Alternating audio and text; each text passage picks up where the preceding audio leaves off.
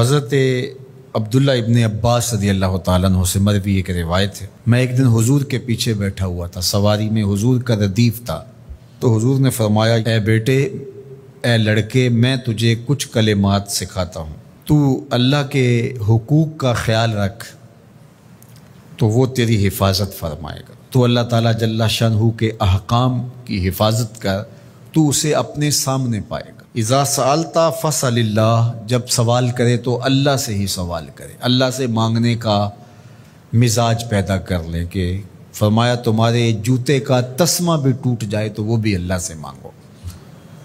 ज़रूर बाज़ार में जाओ दुकानदार से, लेकिन हकीकी तलब अल्लाह से होनी चाहिए।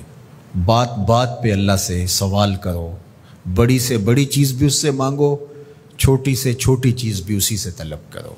हमारी सारी ज़रूरतों का कफ़ील, हमारा रब, हमारा मालिक है। तो दूसरी नसीहत ये की कि जब तू इस्तानत तलब करे, मदद तलब करे तो अल्लाह से ही इस्तानत तलब करे। वालम और जान कि अगर सारी उम्मत, सारे लोग, पूरी कौम जमा हो के तुम्हें फ़ायदा पहुँचाने की कोशिश में लग जाएँ तो तुम्हें वही फ़ायदा पहुँचा सकते हैं जो तेरे लिए तेरे रब ने लिखा है।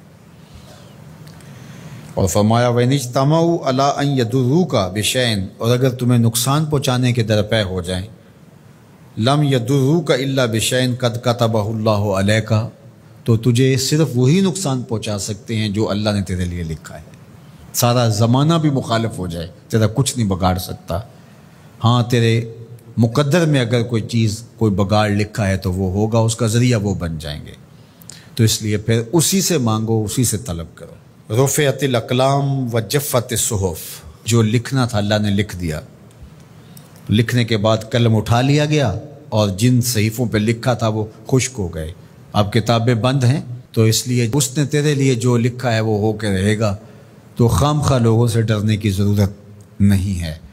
और तेरा फ़ायदा, तेरा नुकसान उसी के दस्ते कुदरत में है। तो उसी से तलब कर, उसी से मांग।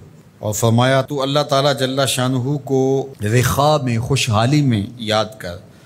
यारिफ का फ़िशिद्दा वो तुझे मुश्किल में पहचानेगा। यानी जो शख्स खुशहाली के दौर में उसके पास दौलत है, सेहत है तो अल्लाह ताला को फरामोश नहीं करता। अल्लाह उसकी बदहाली के ज़माने में उसको फरामोश नहीं करता। वालम और जान अन्न नसरा मा सब्र, कि जो मदद है वो सब्र के साथ आती है। वनल फ़राजा मल कर और कुशादगी जो है वो मुश्किल के साथ आती है।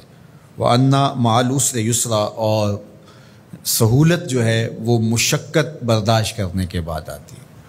तंगी के बाद फराखी आती है। पहलो मुश्किल, फिर तमन्ना, पहलो कंडा, फिर पुल। शायद मगरों, पहलो मक्खियाँ डस दियाँ डंग वालियाँ। तो ये सब होता है मुश्किल तकलीफ़ें, आलाम, मसाइब, इन सबसे गुज़र करके आसानियाँ आती हैं। खुद हुजूर की ज़िंदगी देख लीजिए। मदनी ज़िंदगी, मक्की ज़िंदगी के गुज़रने के बाद, ताइफ के मराहल को तय करने के बाद आती तो हम डायरेक्ट अगर चाहें मक्की ज़िंदगी को इख्तियार किए बग़ैर और ताइफ की मुश्किल और संगलाख रास्तों से गुजरे बग़ैर मदनी बरकतें हासिल करना तो वो नहीं पा सकते। तो ये अल्लाह ताला ने एक निज़ाम रखा हुआ है।